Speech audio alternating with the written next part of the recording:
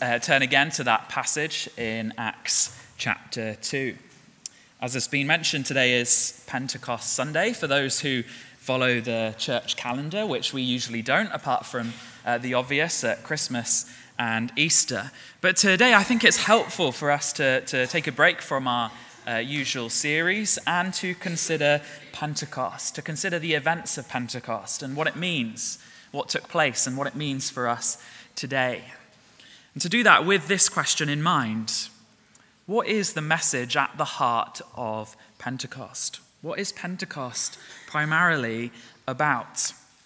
As we read this account, uh, what perhaps jumps out to us first is the miraculous happenings that take place uh, amongst the apostles on this day.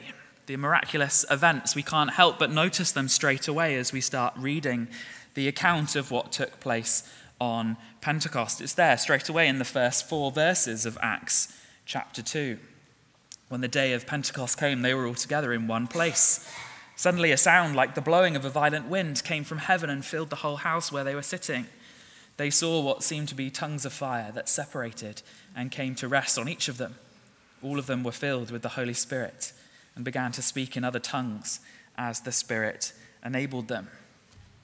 The disciples of Jesus are gathered together on Pentecost. Pentecost is the Feast of Weeks. It's connected to the harvest and is also connected to the Ten Commandments being given to Moses and to the people of Israel on Mount Sinai. It's called Pentecost because it came 50 days after the Passover. And the disciples are together on this occasion. And as they're there together, something miraculous happens. They see these uh, tongues of fire, these flames of fire coming down. They hear this violent wind that um, fills the house that they're in. And this is, of course, an amazing event. If we imagine ourselves in their shoes for just a moment, this was something which was surely baffling, exciting, overwhelming, frightening, even as it initially happened to them. Yet it's crucial that, on the one hand, we don't just think, cool, this is a miraculous event that happened to the disciples of Jesus, but rather that we understand what it signifies, that we understand what these uh, miraculous happenings are pointing to. The feast the disciples were gathered on was for the harvest and for the giving of the Ten Commandments. When the Ten Commandments were given in Exodus 19 and 20, that was accompanied with miraculous signs from heaven, wasn't it? In particular, we're told in Exodus 19, verses 16 and 18, that there was thunder and lightning and thick clouds on the mountain that day. We're told that uh, on that occasion, the mountain was covered in smoke because the Lord descended onto the mountain in fire. Smoke and fire are significant as visible signs of the attending presence of the Lord. We see that in the Old Testament and particularly in the book of Exodus. From chapter 3, when Moses see, sees the burning bush, is there on the holy ground in the presence of the Lord. We see it there, right through to the flight from Egypt and the wilderness wanderings, where the pillar of fire and of smoke represent the presence of the Lord, or rather contain the presence of the Lord as he attends with his people, leading them out of slavery in Egypt, redeeming them from that. And so, as we turn to Acts chapter 2, we should not just focus on the wind and the fire themselves, but see what they are representing to us, what they are signing and signifying for us. They point to the spiritual reality that is happening behind those miraculous events. As the wind fills the house, as the fire descends, something is going on underneath that um, from a spiritual point of view. And there's, of course, a connection in the Old Testament between wind and breath and spirit, with the same word being used to speak of them. And we see that carried over, don't we, in the New Testament, in places such as John chapter 3, where Jesus talks to Nicodemus. And then also here, we're told that there's a violent and rushing wind that fills the house. In verse 2, we see that there. And then the Holy Spirit fills the disciples themselves.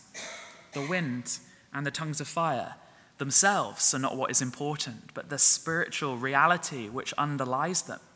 Those things happen so that the disciples would be in no doubt as to what is happening on that occasion. That they'd be in no doubt that the promised Holy Spirit has now come and come upon them.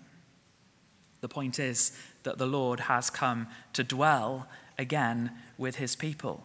Again, we're told that it filled the whole house, verse 2.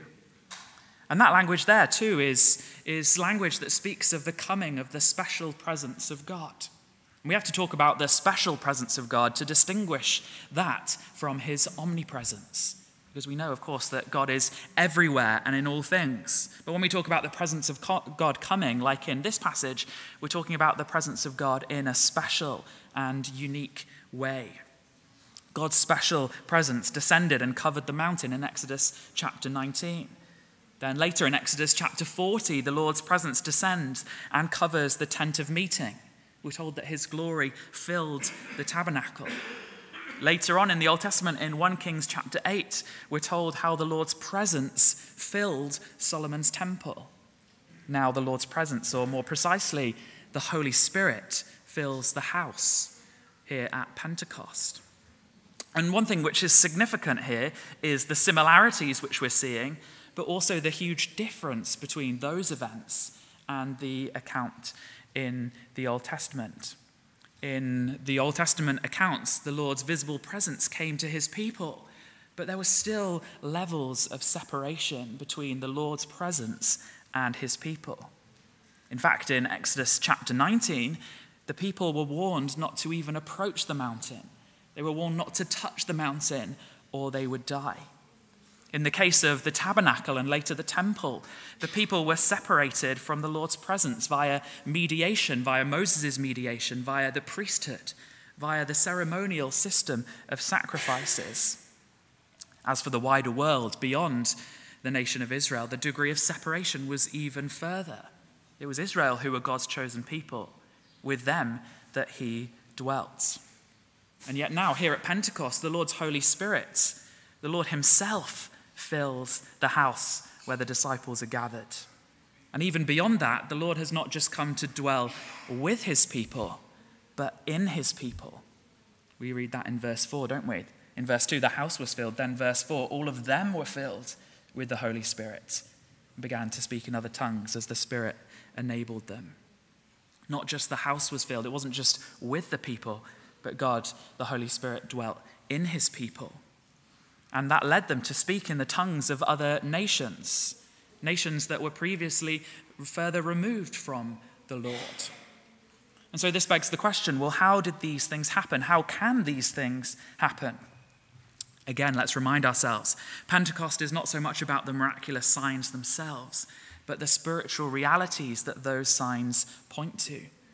And the spiritual reality is namely this salvation and reconciliation with God open to all people without exception through the Lord Jesus, resulting in protection from judgment and the presence of God with and in his people. This is what Pentecost means. This is how the Lord can dwell with and in his people.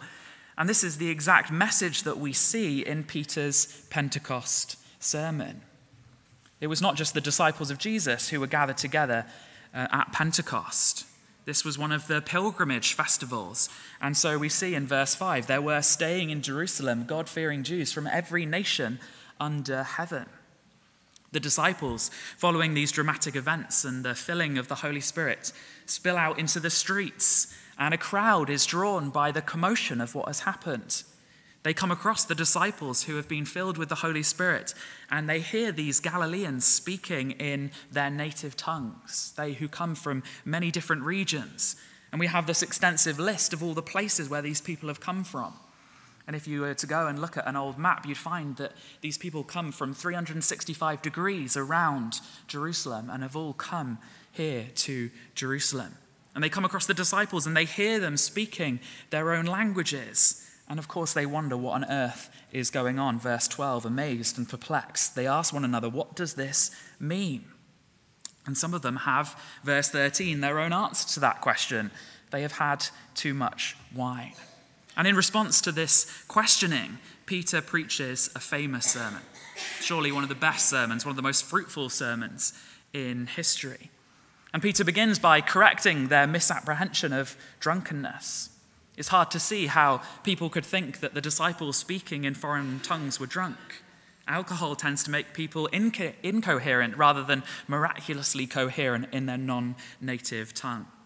Perhaps it meant that those who believed that they could hear the Galileans speaking in their own languages must have been drunk to believe that. Perhaps they assumed that the languages that they didn't understand were simply drunken babble. Either way, Peter corrects them. Peter, under God, clearly recognizes that something special, something unique, something that was promised in the Old Testament and to the disciples directly by Jesus is what has happened here. Peter begins by saying that what has taken place on this day is the fulfillment of what is promised in Joel chapter 2. Peter quotes from Joel chapter 2 in verses 16 to 21. No, this is what was spoken by the prophet Joel. In the last days, God says, I will pour out my spirit on all people. Your sons and daughters will prophesy. Your young men will see visions. Your old men will dream dreams.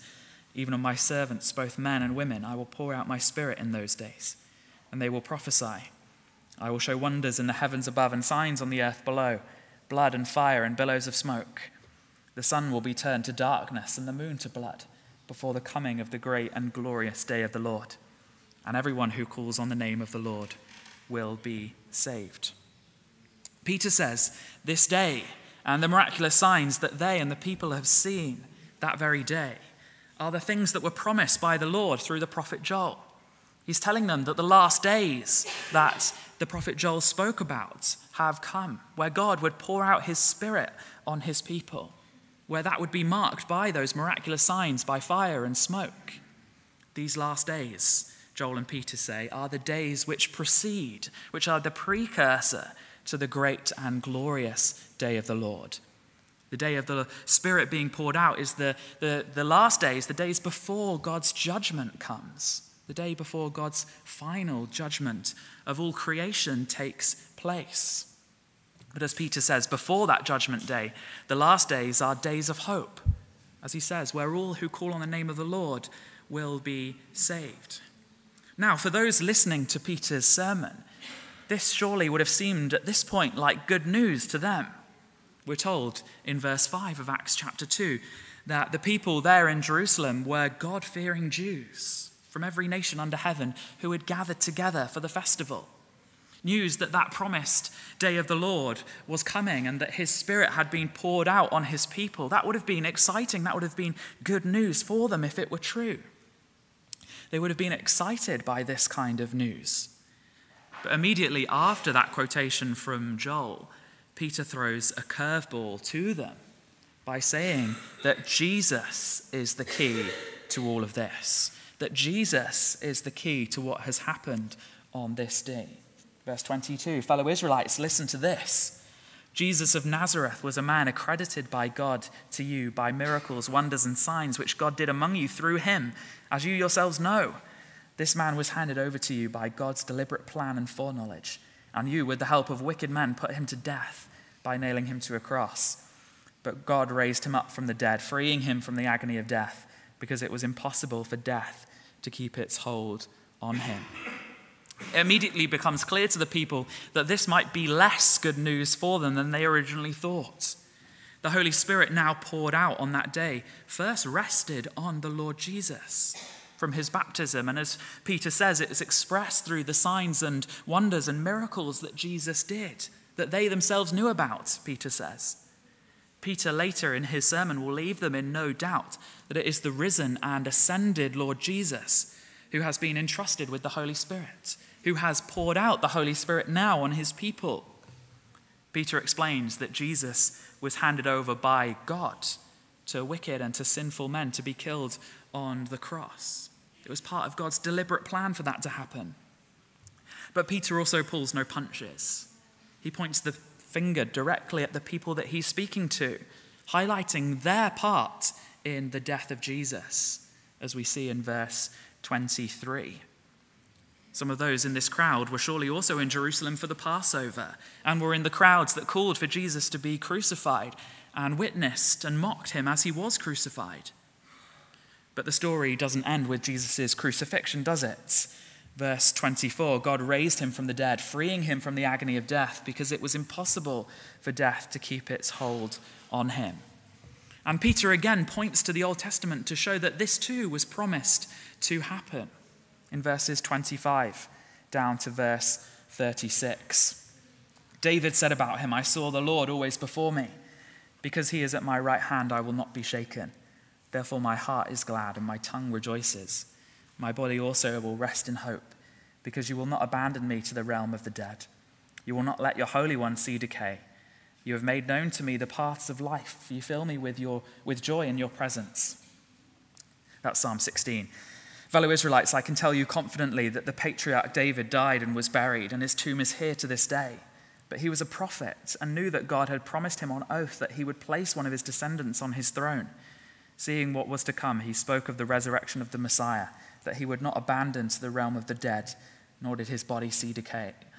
God has raised this Jesus to life, and we are all witnesses of it. Exalted to the right hand of God, he has received from the Father the promised Holy Spirit and has poured out what you now see and hear. For David did not ascend to heaven, and yet he said, The Lord said to my Lord, Sit at my right hand until I make your enemies a footstool for your feet. Therefore, let all Israel be assured of this God has made this Jesus, whom you crucified, both Lord and Messiah. Peter shows them that this psalm is not simply about David, but rather David spoke as a prophet of the one who he knew had been promised, the true king and Messiah, the one who would sit on his throne forever. That one is Jesus. He has come, he has died, he has risen, he's been witnessed by them. He has ascended to heaven and has now poured out the Spirit, which is responsible for what they are seeing and hearing with all of this said by Peter, this passage now clearly presents a problem for the people listening and a potential problem for us as well. The Lord Jesus will now remain in heaven until God's enemies are defeated on the judgment day. Peter says that too in the passage. The Lord Jesus is the one who has been given the Holy Spirit, and the people killed him. They have no hope of receiving the life given by the Holy Spirit the presence of God come to dwell in and with his people in a new, never before, previously unimaginable way. They will not receive that because the Holy Spirit has been poured out by Jesus, the one that they killed and crucified. And the Lord Jesus has not only been entrusted with the Holy Spirit, but tr- entrusted with enacting God's judgment when the great and glorious day of the Lord comes. The people to whom Peter was speaking stand guilty before the Lord Jesus, before God. They crucified the Lord and Messiah, Jesus. And this passage presents a potential problem for us too, even if we were not directly involved in the crucifixion of the Lord Jesus. Without Jesus, we too stand guilty before the Lord. We have broken his perfect law. We've gone against his perfect character. We have not worshipped him and loved him as he deserves. We have not treated our neighbor as we should. We're corrupted, broken, afflicted by sin in our very nature, even from birth. Jesus has been entrusted with the Holy Spirit and with carrying out God's judgment. Without Him, without Jesus, there is no hope of us receiving God's life giving Spirit, no help of, hope of us receiving forgiveness, no hope of us standing when the great day of judgment comes.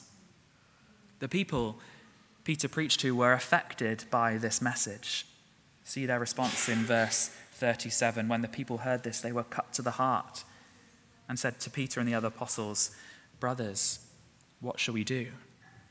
What about you? How are you affected by this message? Have you heard this message? Have you felt the weight of this message, the truth of this message? If you have, like the people, then there is hope. There is good news that we see in verses 38 to 41. And of course, the good news starts way back in verse 21. Everyone who calls on the name of the Lord will be saved. And then, verse 38, Peter's response to the people Peter replied, Repent and be baptized, every one of you, in the name of Jesus Christ for the forgiveness of your sins, and you'll receive the gift of the Holy Spirit. The promise is for you and your children, and for all who are far off, for all whom the Lord will call. With many other words, he warned them and pleaded with them Save yourselves from this corrupt generation. The answer, the hope is found in repenting and turning to Jesus, in finding forgiveness, in finding salvation in Him. It's found in calling on the name of the Lord and being saved, in receiving the Holy Spirit when we do that, and then being baptized in obedience to the risen Lord Jesus. This is the promise of Pentecost. This is the promise of the gospel that we can turn to the Lord Jesus and be saved, that we can call on his name and be saved. We, of course, may not be Jewish like the people who Peter was preaching to, but Peter shows even here how far this promise goes. He says it's open to these people, to their children, and it's open to all who are far off. These words, along with the miraculous tongues that are being spoken, show that there is now no boundaries to those who can call on the name of the Lord and be saved. Anyone can call on the name of the Lord and be saved. Pentecost shows us that God's presence is no longer mediated through ceremonial systems and through the nation of Israel. Rather, it's mediated through the Lord Jesus, who died and rose and ascended and pours out his Holy Spirit on his people. Anyone can repent of their sins, be saved, be forgiven, and receive all the promises of the gospel. Will you repent of your sins and find forgiveness? Will you call on the name of the Lord and be saved? Be saved from death and hell, and instead find hope, life, relationship with God. This is what Pentecost is all about. This is what we should focus on. Of course, Pentecost is about the Holy Spirit being poured out on the church, about, being, about the Holy Spirit being poured out on God's people. But notice how, even in this passage, the focus is on the Lord Jesus Christ. That's what the focus is on. The signs at Pentecost were just that a sign that the last days had become, that the day of salvation in the Lord Jesus, offered to all without exception, had now come. And as we draw to a close, there are just two things that I want to draw our attention to, uh, especially about the promise of Pentecost. There are two aspects to what is promised at Pentecost, which come in and through Jesus and through the Holy Spirit. The first thing that's promised at Pentecost is protection. Protection. Pentecost came in the context of approaching judgment. There's a clear need in Peter's message, isn't there? As Peter is preaching, he's telling them about the great and the glorious day of the Lord. He's telling them about approaching judgment. He's telling them that they need to call on the name of the Lord and be saved. He's telling them about the need for repentance and faith if they are to find forgiveness. This is the need to find protection from judgment. This can happen because of the reason for Jesus' death. We can find protection because of why and what happened when Jesus died, what happened in the, uh, on the cross and in the tomb and at his resurrection. This can happen. We can find protection because on the cross, Jesus took upon himself the punishment that the sins of those who believe in him deserve. As Jesus died, he died the death which our sins deserve. And when he rose from the dead, he broke the power of death, again, for all who believe in him. Sin is a transgression of the commandments of a perfect and holy God. Sin is a, a violation of his character, a rejection of his character and he himself. Sin invokes God's righteous and perfect wrath. It brings judgment. And sin also results in death. The Apostle Paul says, For the wages of sin is death.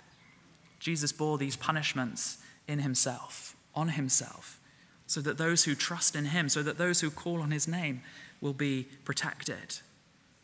Facing no punishment, no judgment, because it fell upon him on the cross. Knowing eternal life because he defeated death.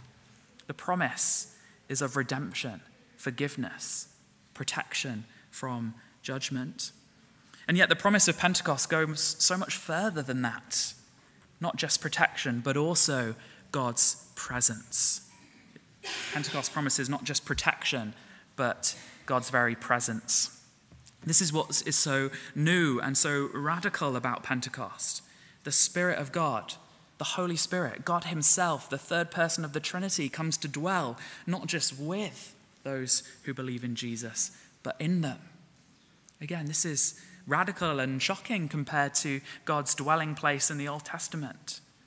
God could now literally not get closer to his people than he does as he comes in his Holy Spirit to dwell within them, within us. Jesus promised that he'd be with his disciples even to the end of the age, and now his Holy Spirit dwells in them and in us too if we believe. God's Holy Spirit, Pentecost promises, will come and dwell in all those who believe, comforting, assuring, assuring that we are God's children, assuring that we belong to Him, assuring that we are saved, convicting us of our sins, sealing us, keeping us safe until that great and glorious day of the Lord when we will be with Him for all eternity. So, this is what our attention should be on when we come to Pentecost. We could, of course, spend uh, a long time debating the different gifts and signs associated with Pentecost and the Holy Spirit. But that's not what Peter talks about on Pentecost, is it? He talks about the Lord Jesus, how he has been entrusted with the Holy Spirit, how through Jesus we can know protection from judgment and know the promise of God's presence with us and in us forevermore. Let's pray.